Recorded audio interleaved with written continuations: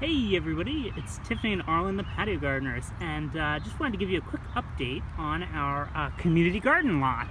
So here we are, and um, Tiffany, we have some, what are these here? Tomatoes. Tomato, well no kidding, they're tomatoes. Yeah, what kind of tomatoes are these? I don't know. Neither do I. We can't remember. we can't remember. We have the uh, little tags at home, but can't remember which is which. It might be the green ones. Green tomatoes? Yeah, because the bottom's kind of lighter than the top. Okay. And these are more uniform in color. So maybe these are the black Krim ones. I don't know. We're not sure.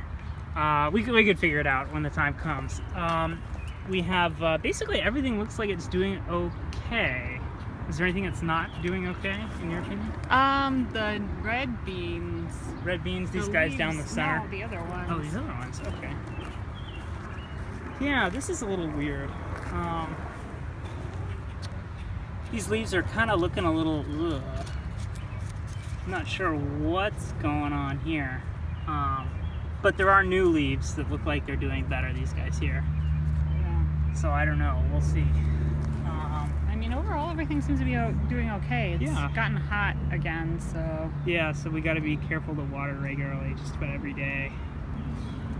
Anyway, Yeah. Um, let us know how your gardens are doing. We'd love to know in the comments, and we'll see you next time. Bye. Bye.